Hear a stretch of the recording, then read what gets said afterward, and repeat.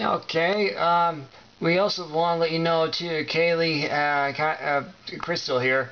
Um, right here, called Obama a Freak, and here it is, uh, right there.